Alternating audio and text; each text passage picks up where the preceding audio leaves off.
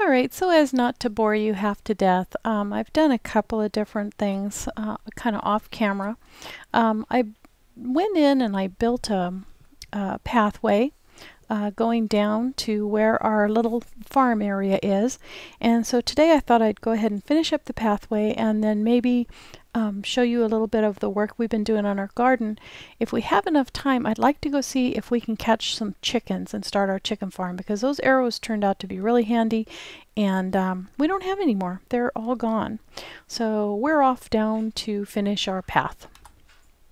Okay, so we got a one wide path cut yesterday, but I got to here and went ahead and, and took it down to two, two wide, but I didn't have any more cobble, so I had to quit for the day. Um, it was getting dark anyhow.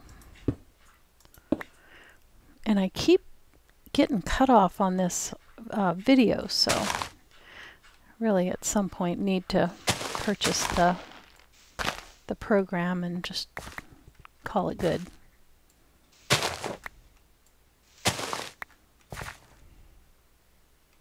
Oh, I see why it can't be. Well, yeah, that can still be cobble, though.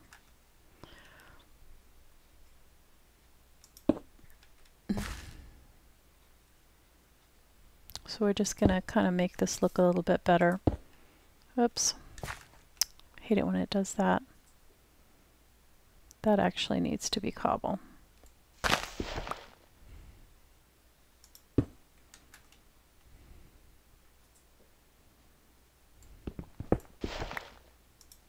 There we go, that's better.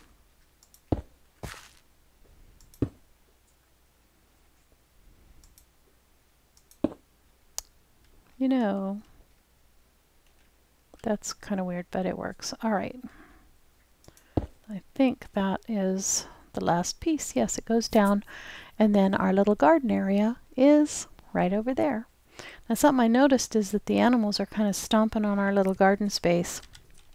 So um, what I'm going to do today is we're going to put in a little bit of fencing um, and then using our our crafting bench that we have down there, we're going to make uh, some gates to keep the animals from stomping all over our fruits and veggies. And I keep hearing that zombie. I keep saying we're going to go in that cave, and I just don't have the nerve yet. But you can see the path needs a little bit of work because it looks kind of dumb. But we'll we'll get it all fixed up eventually, just the way we like it. Just takes time. And something else we're going to have to do is we're going to have to go and see if we can find some place where there's a lot more sand. And I'm hoping to find a desert somewhere. Somewhere not too far away. So you can see we expanded the wheat garden a bit. I'm going to go ahead and push this back so that we have room for the, the fencing. Kind of handy to have a little pool of water here anyhow.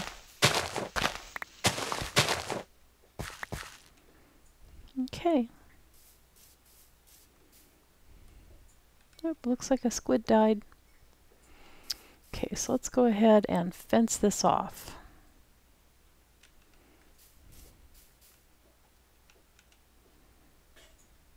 Mm, let's start right here. That wouldn't be bad.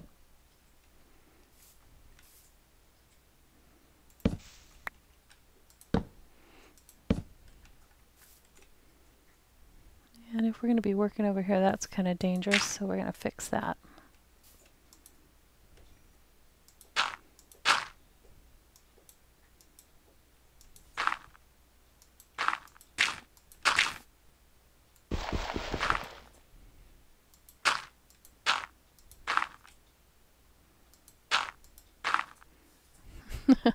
I, I hear a bunch of lava and I look over and Steve's working near lava.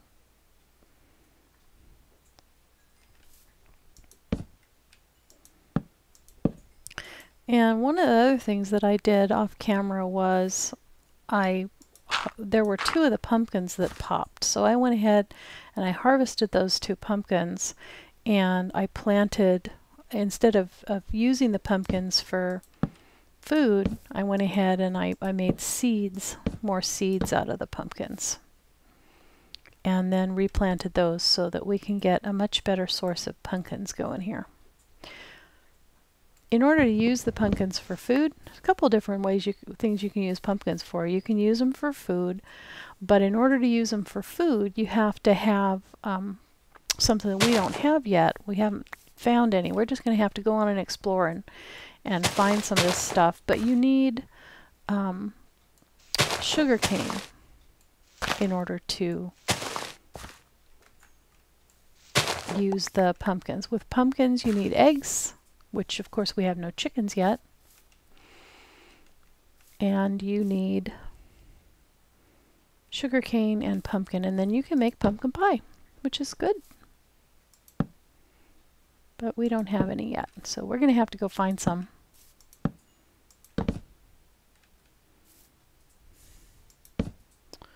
Okay. You know, we need sand. And we also need to expand our garden. So what I'm thinking of doing is taking up this sand and replacing it with dirt. In fact, I think I will.